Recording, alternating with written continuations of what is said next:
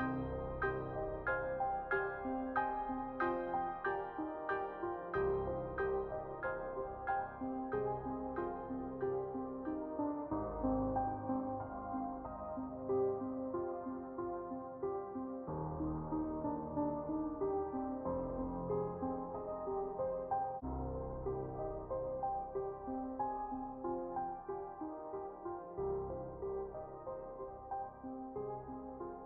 Why postmodernists train, not educate, activists?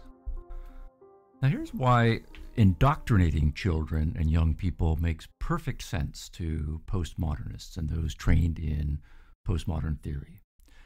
Now, most of us have encountered old fashioned indoctrinators in our education. We almost always run into a teacher or two along the way or a professor who thinks like this you know, there's one truth and I am in possession of it. So important is it that students must believe it and it alone. Alternative ideas are a waste of time and they are a temptation to unformed minds, so those should be shunned. So, as a teacher, I will use my authority and my power to instill only the correct ideas. Now, our modern ideal of liberal education fought a long battle against that view across several centuries. Now, it also agrees that the truth matters, but the truth is often very complex, and the exposure of students to contending theories is an absolutely essential part of the process. Students need to need on complicated matters, particularly controversial issues, need to know what the leading alternative theories and hypotheses are, and exposing them to the leading advocates for each of those contenders is the best way for students to sort it out. Students also need to develop their own strength of mind to be able to think independently with confidence because all through their lives, they're going to be exposed to new, complex issues for which there's not yet an answer in the back of the book or an authority figure who can just tell them what it is. That's what they're going to be dealing with their lives, and that's what education should prepare them for. Now, John Stuart Mill, in his uh, classic work, now classic uh, statement of the liberal education ideal, this is from his On Liberty, particularly chapter 2, he argued passionately that students must learn not only the best answers, but also their contenders, even the failed contenders and that a trained mind, and the mark of a trained mind is going to be one that not only knows the truth or knows the best answer, but knows the reasons for the best answer and also knows the strongest criticisms that can be mounted against the best answer or the true answer. And not only that, they will also know the contender positions and what the best arguments are for each of those contender positions, and then, of course, how to respond to each of those arguments. So, institutionally, then, Mill went on to argue if that's our idea of what it is to be a well educated person, uh, what this implies for schools is that schools should make it a point of hiring teachers from diverse viewpoints for it's only by exposure to expert and passionate articulation of varied viewpoints will students get a first rate education.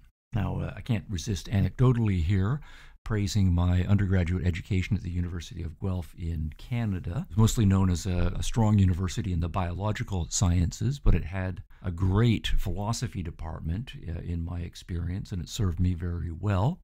And when I was there for a while, I uh, found out the story of how it came to have. It had 20 professors, I believe, of philosophy, and there wasn't a, a, single professor that agreed with any of the other professors on on any overall philosophical outlook. And what I learned was that the then chairman of the department, uh, Professor Bruce was his name, John Bruce, I think his first name was, had been a skeptic at the university when the university's department was much smaller, but they realized the baby boom was coming, so he was then authorized to expand the department from, I believe, eight professors up to 20.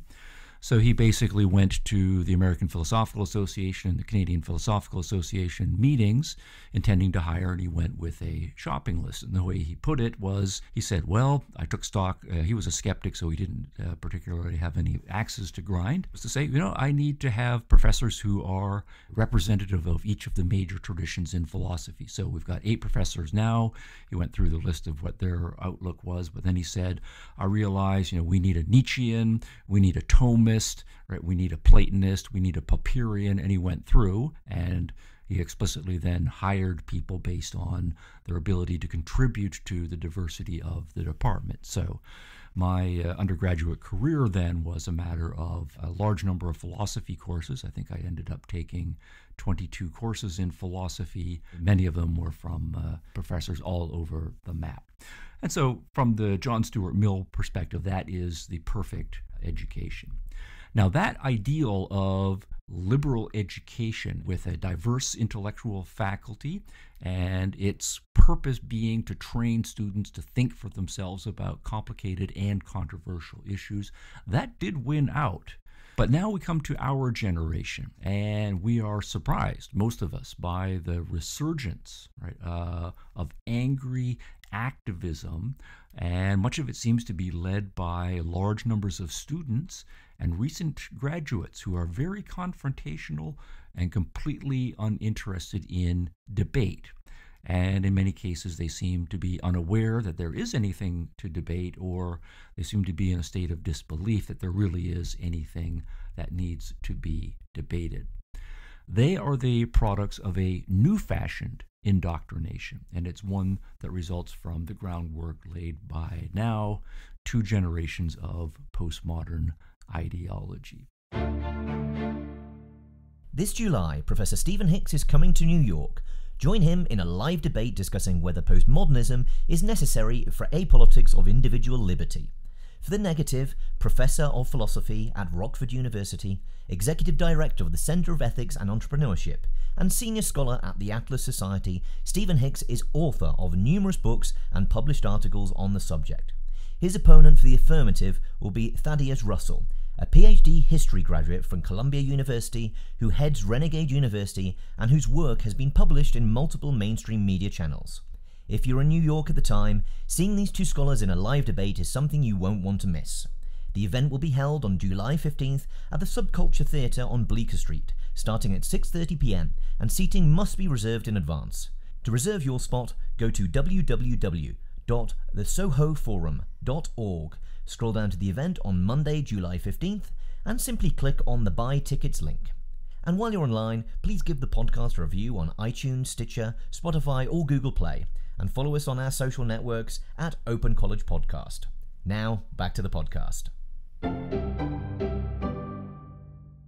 If we go back to the 1950s and the 1960s, we find first rate philosophers, Michel Foucault, Richard Rorty, Jacques Derrida, and others, casting a very suspicious up eye upon the concept of truth, right? And I'm putting that in scare quotes and who are substituting group relativized narratives. That they're just stories, and there are multiple ones, and no one of them has a better claim to truth than any of the others. They then will go on to lament, in some cases, that those narratives are in brutal conflict right with each other, and we have no way of resolving those conflicts by appealing to the traditional tools of reason, analysis, and argument because we are becoming skeptical of those. As a result, the way Richard Rorty puts it, we cannot escape right, our own, quote, ethnocentric predicament, unquote. And Rorty went on to claim that, you know, there is no way to get to the truth or any sort of objective thing, so all we can do is, quote, we must, in practice, privilege our own group, unquote. And of course, other groups are doing the same thing. They are privileging their narrative and their values, and if they're in conflict with each other, well, the result has to be rather brutal. Now, Rorty was trying to say we should not be too brutal down this road, just recognize our ethnocentric predicament, but in this first generation, he is identifying it as philosophically inescapable. Now, ethnocentric predicament is one possibility. Of course, it can be race group predicament. It can be sex and or gender group predicament. There are any number of social dimensions that we can see individuals as being trapped in and in conflict with the others. Now that's the first step. If the truth is out and our predicament really is one of just racial, gender, ethnic group conflict, then what does this imply for the purpose of education? What's the, the next step going to be here? Well, Michel Foucault was quite explicit about the implications of the death of truth.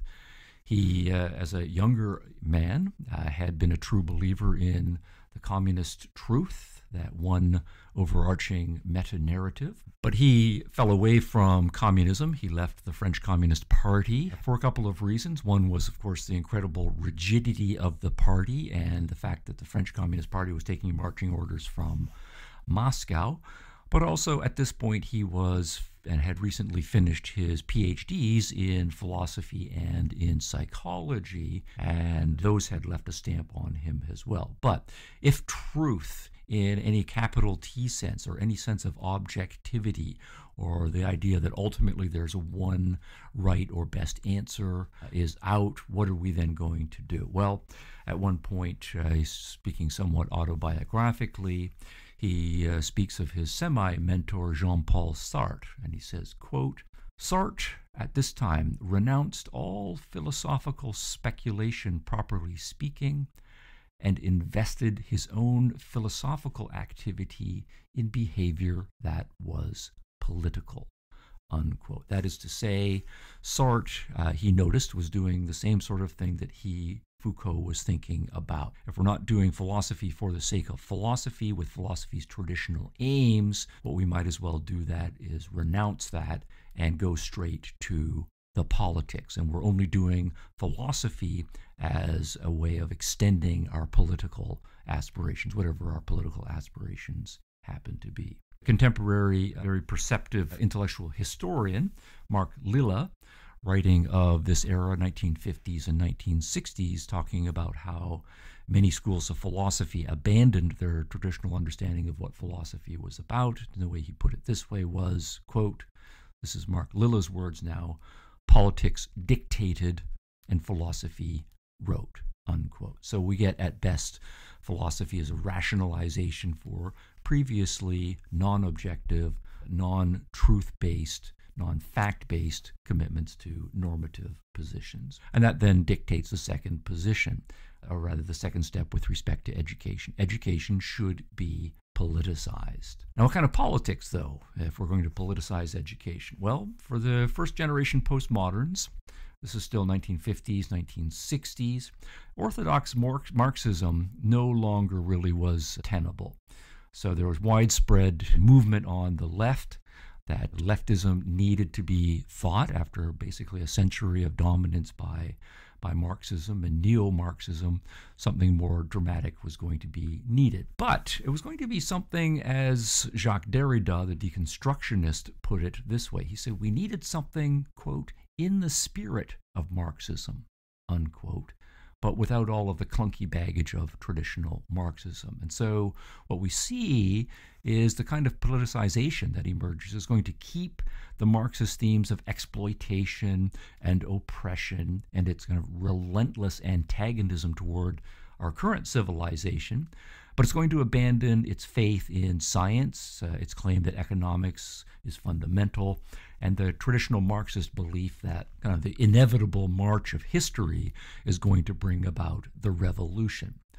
So if we abandon traditional Marxism and those things, then what we are going to adopt instead is the idea that subversive action now, that's what we need in order to effect the transformation. Rather than waiting for the march of history to bring about the revolution, the revolution in whatever form it's going to take is something that we have to do by subversive action here and now. In Stephen Hicks's book, explaining postmodernism, skepticism, and socialism from Rousseau to Foucault. He writes an incredibly crafted and well argued insight into what postmodernism is, why it exists, and why it is dangerous applied in the wrong dose, in the wrong place, as it frequently is in this day and age. Postmodernism has been the most vigorous intellectual movement of the late 20th century. In his book, Hicks traces the roots of postmodernism all the way back to the Enlightenment era, where he systematically charts how the Age of Reason sowed the seeds of unreason that was to follow, making a clear connection between postmodernism to history, leftist politics, and even the ugliness of contemporary art. Hicks presents his thesis with beautiful, easy to understand explanations that burn with logic and common sense. So if you've ever wondered why society holds so many assumptions about the world, and you want to understand the chaos of what is happening, Hicks's work in this book provides a huge piece to this puzzle. Why do skeptical and relativistic arguments have such power in the contemporary intellectual world? Why do they have that power in the humanities but not in the sciences? Why is a significant portion of the political left the same left that traditionally promoted reason, science, equality for all, and optimism now switch to the themes of anti reason, anti science, double standards, and cynicism? This book is by far the most helpful resource I have ever come across for understanding why the world is turning into a direction that I just can't comprehend. Pick up your copy of Stephen Hicks's book, Explaining Postmodernism, Skepticism, and Socialism from Rousseau to Foucault, available now on Amazon.com. While you're online, make sure to subscribe to the Open College podcast, hosted by Stephen Hicks himself, and please leave a review for it on iTunes or Stitcher. Now back to the podcast. Now, the next generation of postmodernists got busy. Uh, they learned from Foucault, Rorty, and Derrida, right? If we summarize so far, that we should abandon truth for narratives. We should abandon the individual mind for group social construction.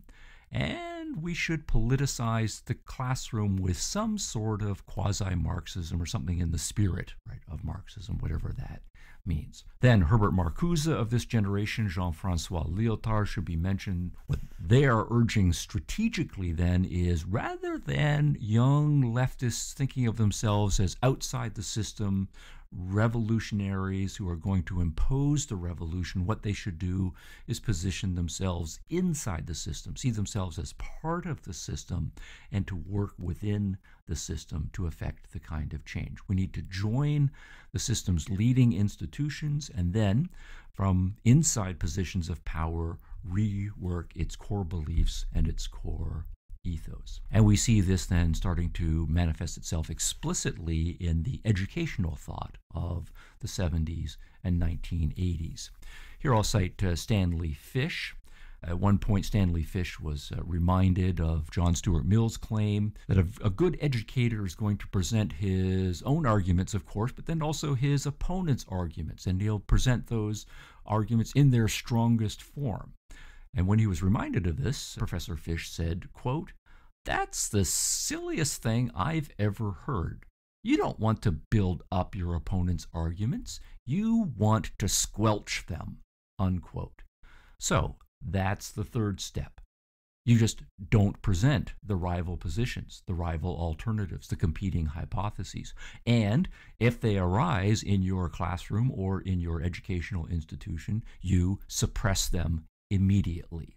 Now, one of Stanley Fish's postmodern colleagues at uh, Duke University, this is uh, Frank Lentricchia, then took the fourth step. If we now succeed, and this is, uh, we can start seeing in the 80s and the 90s things like, hey ho, Western Civ has got to go, with the explicit point of abandoning and banishing from the syllabi and from reading lists all of the traditional works in uh, in the Western civilization canon. So if we can get all of the competing and alternative viewpoints off the syllabus, then what are we supposed to be doing, especially if we're not engaged in truth seeking anymore? The point is going to be about power. You, as the teacher, you, as the professor, you have social power now. You're a tenured professor, say. And so your job, this is Lentricchia's words now, are, quote, to exercise power for the purpose of social change, unquote. Yes, you're not interested in truth or the advancement of knowledge. You are interested in social activism. You want to change society, and that's your job. So, the postmodern educator's task is to train students, quote, to spot, confront, and work against the political horrors of one's time, unquote. So we take it as axiomatic that we are living in an oppressive society, an exploitative society, a terrible society, an alienating society, all of that in the spirit of Marxism language. And the horrors are spread across many dimensions with many victims. And your job then as a teacher is relentlessly to help students be aware of those things, to teach them to stand up to those things, and to work in an activist fashion against all of those things. So your job is now explicitly to train activists, and particularly angry activists who are going to do something about it. Friedrich Nietzsche was famous for his statement that God is dead and his provocative account of master and slave moralities, and also for the fact that Adolf Hitler and the Nazis claimed that Nietzsche was one of their great inspirations. Were the Nazis right to do so, or did they misappropriate Nietzsche's philosophy? Professor Stephen Hicks's concisely written book, Nietzsche and the Nazis, based on the 2006 documentary, corrects many widespread misconceptions about Nietzsche, giving a fascinating and easy to understand analysis of Nietzsche's work, asking and answering a number of questions, such as what were the key elements of Hitler and the National Socialist political philosophy? How did the Nazis come to power in a nation as educated and civilized as Germany? What was Friedrich Nietzsche's philosophy? The philosophy of live dangerously, and that which does not kill us makes us stronger? And to what extent did Nietzsche's philosophy provide a foundation for the horrors perpetrated by the Nazis? Professor Hicks demonstrates his mastery of this subject using quotes and critical analysis that prove his points and show the true linkage between Nietzsche and the Nazis and how philosophical ideas move the world. Get your copy of Nietzsche and the Nazis by Stephen Hicks on Amazon.com today.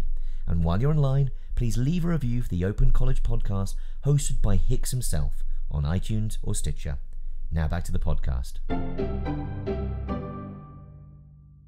Now, I can't resist uh, as we're getting toward the end of this here, say more explicitly, obviously, this has uh, implications for not only what's going to be on the syllabus or what's going to be on the reading list, what kind of professors we are going to hire, but then also when we are, is, say, in professional schools of education, training the next generation of teachers, what will the, the, the content of teacher training be like? But if we're thinking about the particular kinds of students that we are trying to train, it's one thing to say, well, we're interested in aware, critical, angry activists, but the uh, language that is used increasingly in the last couple of years is that of a virus. Now, this is partly, of course, inspired by internet meme language and things going viral socially. But I've got tier two professors from Arizona State University who are speaking explicitly about the purpose of their kind of postmodern pedagogy.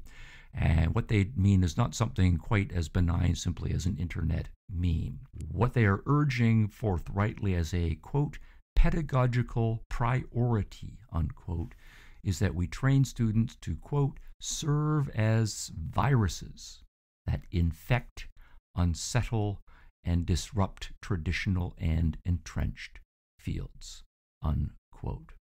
Now, this is not simply there's a catchy or interesting meme that goes viral and it makes people laugh or smile and or whatever on the internet. The kind of viruses that uh, this is Professor Faz and Professor Karger are mentioning are Ebola and HIV.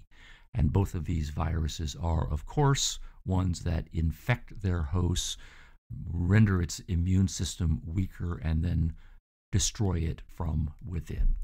So that's what we're trying to do with the students. And in their view, tacking on again some in the spirit of Marxism kind of language, they believe that we live in a mindless and capitalist consumer culture and that universities have sold themselves out to corporations. And so this is all perfectly the right activist. Now, the point of this is that this explains our current generation of angry young people who are coming out of schools, coming out of universities with all of their inchoate energy and fears and rage. Released from 12, 15, 16 years of such schooling. They only want to do something now. But what? You know, they can just feel in their bones because this is what they have been taught, this is what has been instilled in them, that the system that they are entering into is oppressive, that they personally are being set up for failure by sinister forces who just hate them or loathe them because of their gender or their race or their ethnicity. Everybody basically loathes everybody, and that they have a life of conflict ahead of them. And they have not been exposed much to other ideologies, nor trained how to evaluate them, nor how to think for themselves as individuals. Thrust unprepared into a hostile world, it makes perfect sense that their protests are simply going to be manifestations of their own internal rages and despairs. Now, once again, I'd like to return to the theme of this series that philosophy is practical, and the results of applying postmodern theory to educational practice for two generations now. That is the great lesson of our time.